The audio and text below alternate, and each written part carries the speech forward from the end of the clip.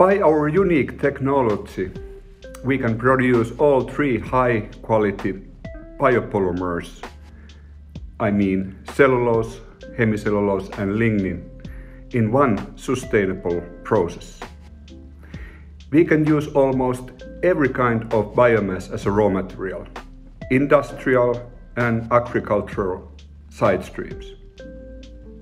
The process has high material efficiency and low operation costs, so our technology and process is highly scalable. So even the small biorefinery is profitable.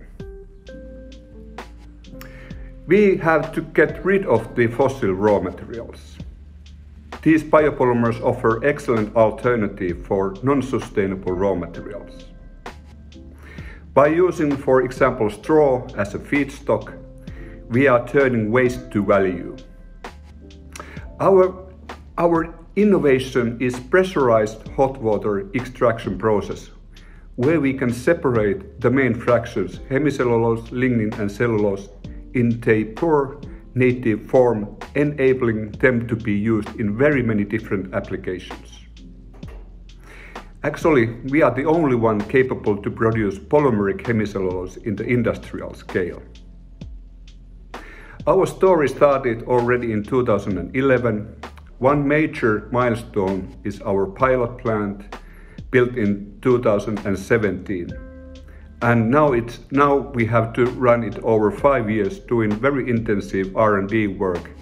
And now our technology readiness level is up to nine.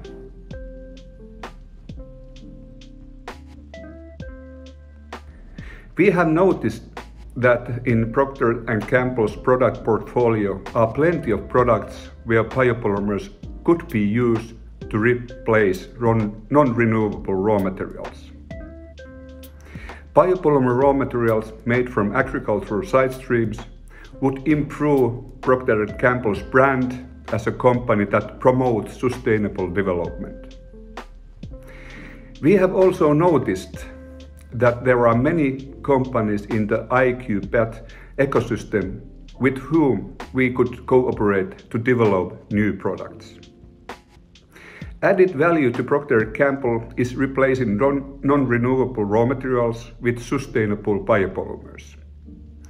As mentioned, our products can be used in huge amount of applications, like hemicellulose in laundry products to prevent graying, face and skin care products as an emulsifier, and microfibrillated or nanocellulose in baby diapers.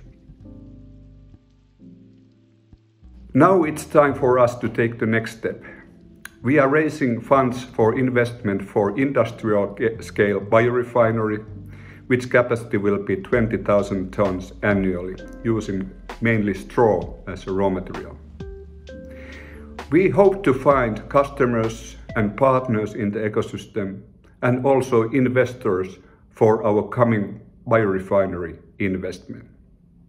Thank you and let's be in touch.